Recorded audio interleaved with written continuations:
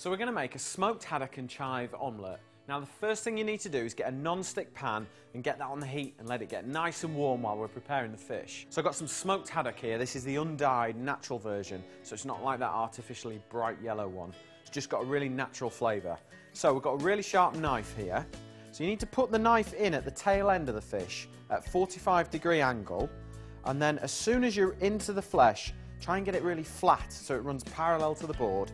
Keep the skin tight and just kind of pull the fish towards you and push the knife away from you really gently and it will come free. If you've got a good sharp knife, skin should come away. There we go. We've got a row of bones that run along here and it stops about there.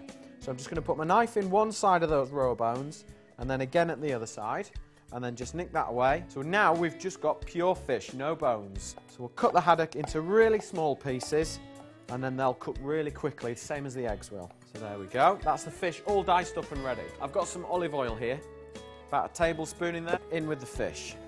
So use the back of your knife, scrape the fish in. Half of that fish will be enough for one portion. Give the pan a little shake. We'll just let that cook while we get the eggs ready for the omelette. So I'm going to do a three egg omelette. So just crack them straight in. Some really nice free range eggs. Look at the yolks on there, really, really vibrant orange colour. Just whisk those up. And then I've got a touch of double cream here. You don't need much. Just mix that together. And then I've got some sea salt. So sprinkle that. Cracked black peppercorns in there. Pour the egg mixture into the pan. Give it a little shake. What we want the egg to do is kind of get under the fish and it'll stop it sticking then. Chives, we'll just chop those. Just gives it that nice kind of savoury flavour. And then just sprinkle those in. We're just going to pop that in the oven. Omelette's been in the oven for about three or four minutes. Just lift it straight out. I can see it's perfectly cooked. Because it's a non-stick pan, it'll just come straight out like that.